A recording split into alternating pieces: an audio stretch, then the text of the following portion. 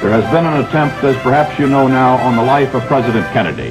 He was wounded in an automobile driving from Dallas Airport into downtown.